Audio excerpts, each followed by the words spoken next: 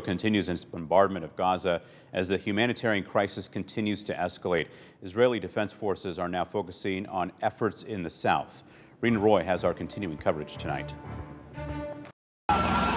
Israel continuing its barrage on Gaza as Israeli defense forces try to take out Hamas in retaliation for the deadly October 7th terrorist attack. Innocent civilians say they're living in horror as the strikes wipe out entire neighborhoods.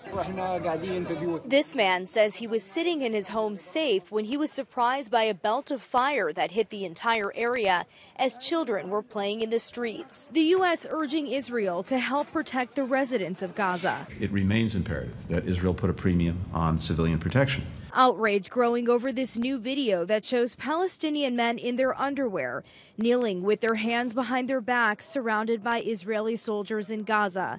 Israel says the men are captured Hamas terror suspects. ABC's James Longman pressing the IDF on that claim. Do you consider these to be terrorists or are they civilians? Israel does not arrest, apprehend, or target anyone in the Gaza Strip that is not a Hamas terrorist or poses an imminent threat to Israel. The Committee to Protect Journalists saying one of those men is Palestinian correspondent Dia Al Kahlout, and they are demanding his release. Meanwhile, in Israel, families of hostages coming together to mark the start of Hanukkah.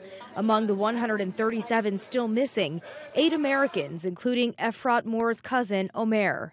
We want to see negotiation. We understand that every day that they are there jeopardize their lives.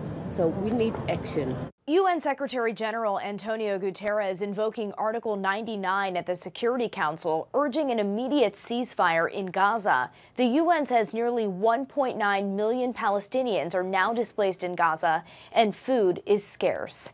Rena Roy, ABC News, New York. Now, the U.S. says it does not support an immediate ceasefire. The Gaza Health Ministry says nearly 20,000 people have been killed since the October 7th attacks.